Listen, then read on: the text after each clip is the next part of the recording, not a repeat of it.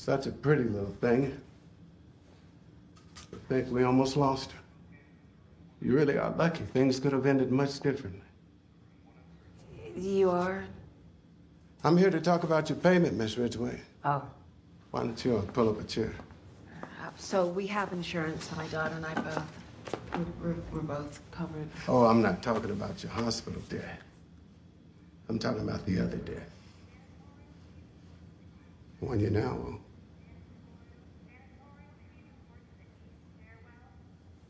What was done for your daughter doesn't come cheap. Her little soul was spared, and now you owe one in return.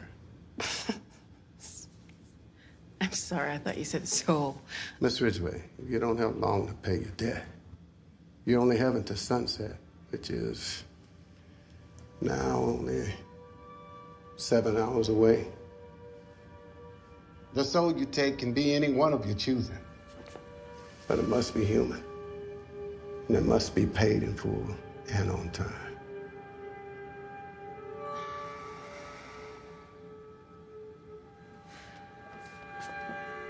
Okay, I don't really understand what's going on.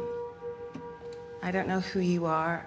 I think I'm gonna call security. I would like you to leave the room and leave my daughter alone. Failure to meet your debt, Miss Ridgway, will result in your daughter's condition returning to what it was. I'd like you to leave now. Let me uh, remind you of what that looked like.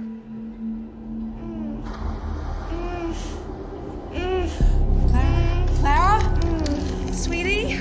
She will suffer What have you done to her? before she succumbs to the snake venom working its way through her tiny body. Oh, no. Please stop it.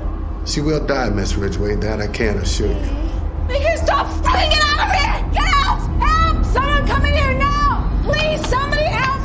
Seven hours, Miss Ridgway.